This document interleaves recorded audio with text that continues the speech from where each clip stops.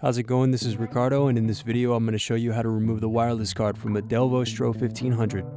If you're looking for parts for this laptop, go to our website and use this coupon for a 5% off discount. The first thing you want to do here is slide the latches over and remove the battery.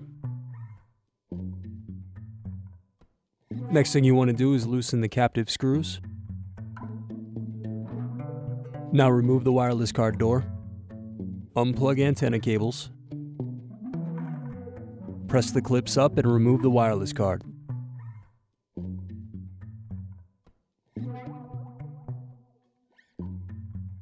Need more? Check out these other tutorials. For LCD screens, click here. For motherboards, click here. For keyboards, click here. Thanks for watching. If you enjoyed this tutorial, give our video a like and subscribe to our YouTube channel. Check out partspeople.com where we have hundreds of tutorials and hundreds of thousands of parts.